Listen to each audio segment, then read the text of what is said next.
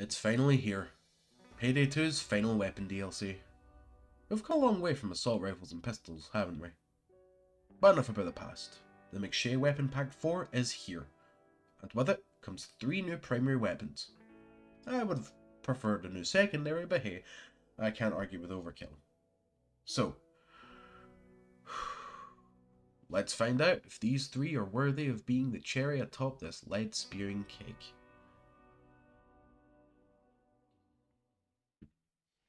Our first weapon is the Final Sniper Rifle. Modelled after Great Britain's most popular export, a weapon that's haunted the minds of terrorists for many years and was made by three people in a shed, the Amarok 900. Based off the Accuracy International Arctic Warfare, a weapon made infamous by Counter-Strike's AWP, the Amarok has taken the crown as the second most powerful payday sniper, only a few months after the Iran released. Womp womp. Still though, surprised it took them this long to add one of these, but oh boy was that wait worth it. Packing an impressive 1050 damage and being able to hit 100 accuracy with very little mods sets this thing up for destruction, even more so with its exclusive sets. The first of which is the Dragon Lore, the legendary CSGO skin that costs an arm and a leg. This set takes a hit at your magazine and concealment, but increases everything else, even putting your damage into overdrive. The slight increase to total ammo and the rate of fire aren't too much, but it's a satisfying beast to use in combat. The second is the Badlands, clearly based off the cel-shaded art style of the Borderlands series. Although the symbol on the side looks like the logo of Facepunch, the developers of Garry's Mod and Rust, which makes sense since the latter has an Arctic Warfare, the L96. Any Rust players watching, let me know if there's a skin that looks like this.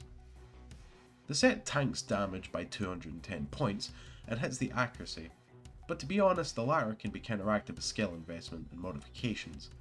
The upsides are a boost to stability and a whole clip in reserve. Not bad, I might use this for aesthetics. Finally, for the base variant, having options for a long barrel and short barrel, a muzzle brake or a suppressor, a new faster bolt, a shell rack, which increases total ammo at slight hit to your stats, a speed pull mag, and a stock.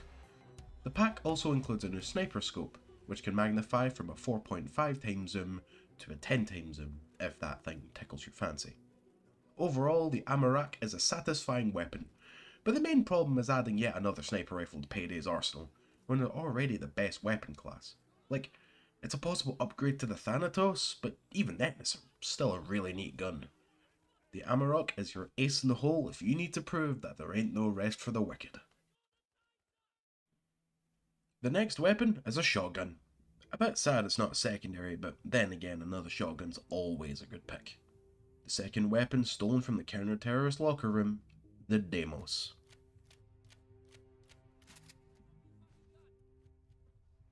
Based on the Benelli Nova, the Deimos is a unique in the world of payday shotguns, as it can switch from pump action to semi-automatic firing.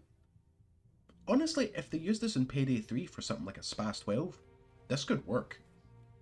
The interesting part is that it's the same damage tier as the Reinfeld, but with semi-auto firing. Meaning, and I'm just saying this, meaning that this is now the king of tube-fed semi-auto shotguns, which there wasn't really many to begin with. Although, that begs a question, why would you have a switch to begin with? Hmm. Let me check something.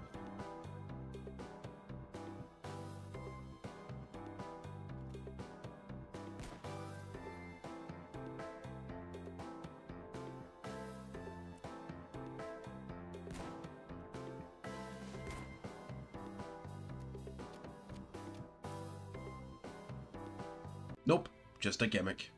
What a shame. To the gun itself. It has only one exclusive skin, the Flatline, which looks pretty cool, even if I don't know if it's supposed to be based on anything.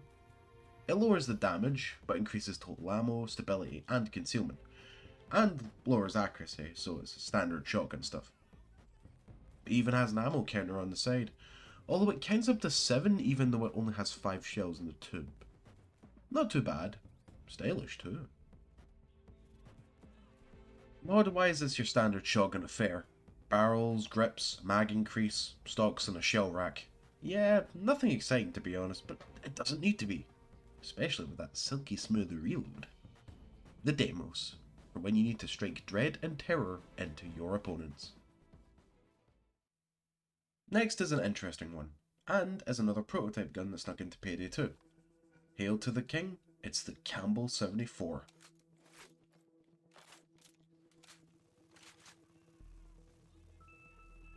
The Campbell is based on the Knights Armament Company chain SAW, as in capital S-A-W. It's a prototype variant of the Knights Armament Stoner 96. This weapon is... It's something alright. It's the weakest LMG in Payday, but has uh, high ammo to compensate? No, not really. One set, like the Deimos, the off-world which absolutely tanks the damage in exchange for ammo and concealment. I don't like it. I'm just gonna say that. Like, seriously, 29 damage? Seriously? I'm guessing this is made for Grinder, but why do that? Why make a really cool weapon specifically for one deck? At least make it for, like, a class of weapon? I mean, at least the ammo is high, but Almir's beard this set balls flat. The default one is no better. The fact that the laser is misaligned to the center of the screen really bursts my buttons. And the flamethrower is just... I don't like flamethrowers. The only cool thing I can say about this weapon is the fact that it's full of horror references. Don't believe me? Well, let me just go through them. It's named after Bruce Campbell, who played Ash Williams in the Evil Dead series. The Raimi suppressor is clearly supposed to be Sam Raimi, the director of Evil Dead, the Dourif muzzle is named after Brad Dourif, the actor of Chucky from the Child's Play series. The Lugosi and Karloff barrels are named after Bela Lugosi and Boris Karloff, the actors of classic Universal monsters Dracula and Frankenstein's monster respectively. The Mosley sling is Bill Moseley, Chop Top from Texas Chainsaw Massacre and Otis Driftwood from Rob Zombie's Firefly film trilogy. Also Luigi Largo from Repo the Genetic Opera and the Perkins soft case is Anthony Perkins, who played Norman Bates in the original Psycho. It's a shame this weapon sucks. The men and women at Overkill clearly did their research. So, what do I think of the McShay weapon pack number 4? Well, as a weapon pack, it's alright. It's got some good ideas here and there, but overall nothing special. Which is what I don't like. This is the final weapon pack Payday 2 will ever get. And it's not going out with a bang. Make the Deimos armor piercing or something. Like, make something space. Wait. Wait, it was?